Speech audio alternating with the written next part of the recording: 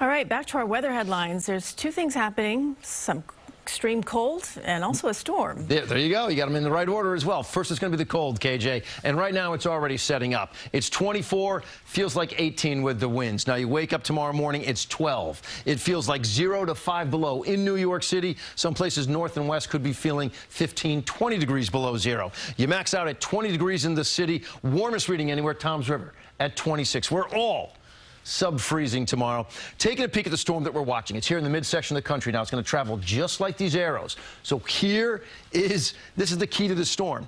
If you are on the right-hand side of its path, you're going to get, you'll get rain. If you're on the left-hand side of its path, that's the cold side of the storm, you get the snow. And that's why all the watches and the warnings are on the left-hand side of the line. So if this whole line, think about this. If it pushes farther out into the ocean, then we all have a chance to see big snow out of it. If it pushes farther to the west, well, then we would all be on the rainier side of it, and it would just be rain for our area. I think as of right now, it's going to really split our area in two. So we'll go from snow to rain for most of us.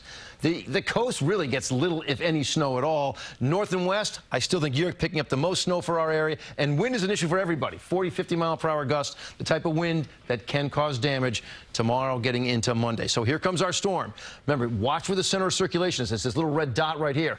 Right-hand side of it, you're getting rain. The rain snow line right around the city. So I think the most likely time for the city itself to see some snow would be on the onset of the storm. As it's moving in, all right, then that snow line, or the rain snow line, starts to push up to the north by 5 a.m. The city has already turned over to rain. There's your center of circulation. Again, it's inland. If you were looking and rooting for a big storm, you need that center of circulation to be offshore, and eventually it pushes up to the north and east by, say, Luton by noon on Monday. Even some of that rain now pushing well north as well. But I do think some of the areas north of the city will hold on to snow, so you're looking at the possibility for a half a foot or more in some areas. Three to six as you get closer to the city. I think the city it's in either a, a trace to one or maybe the northern portion of the city could be in a one to three. That's the way we see it. Also, keep in mind coastal flooding is an issue. Flood watches and advisories because the tide, high tide, right? Onshore flow with that wind, plus a big, uh, plus a big full moon, gives you maybe two, three feet above average. Here's what I've got for you: 20 degrees and cold tomorrow. 33 Sunday, but the story Sunday will be late. The storm doesn't arrive until after sunset. Then we deal with it through the overnight into Monday. Monday side about 42, and then after that, temperatures go back down. But we're really kind of calm after that Monday storm, guys. That's the way we see this one. It's all yours. Okay, Lonnie. Thank you.